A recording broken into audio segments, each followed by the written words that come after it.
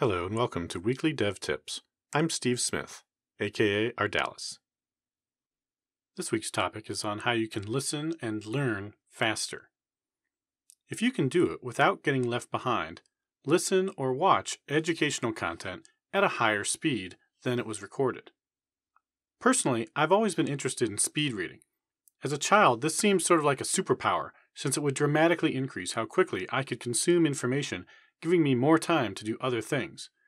On a related note, I have often wished for a nice substitute for sleep that didn't have nasty side effects. But I digress. Let's talk about how you can listen faster. If you're currently listening to this episode on a phone or mobile device, the app you're using most likely has an option to change the speed. I try to record these at a fairly measured pace, even if I'm otherwise animated or excited by the topic, because I want to make sure that whatever I'm saying is going to be understandable even to those of you for whom English may not be your first language. However, for those of you who can manage it, I encourage you to listen faster by adjusting the play speed to 1.25 or 1.5x, or even faster if you can manage it. If you're not sure how to configure a particular player, I cover a few options in an article on my blog about listening faster. Look for it in the show notes. If you're in a web browser right now on the show's site, there should be a small 1x icon on the right side of the player. Clicking it will cycle you through different speeds. Give it a shot and pick one that's comfortable for you.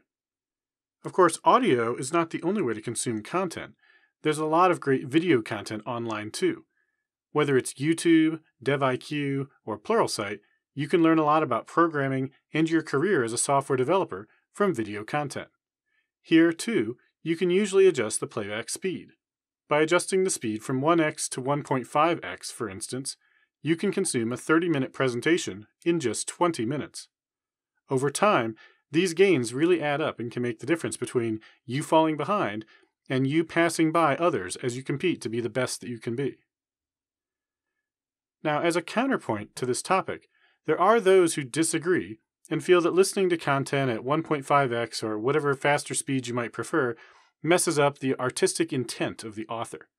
A fairly recent article on The Verge is titled simply Stop Listening to Podcasts at 1.5x Speed. I mention this mainly to disagree with it and to give you my permission, as the author and artist involved in this podcast, to listen faster. There may be instances where some subtlety is lost especially when you're talking about a heavily produced and edited show with multiple speakers involved. I'm going to strive not to be that subtle. My goal for these shows is that they provide you with small, useful, concrete nuggets that you can immediately apply to your work.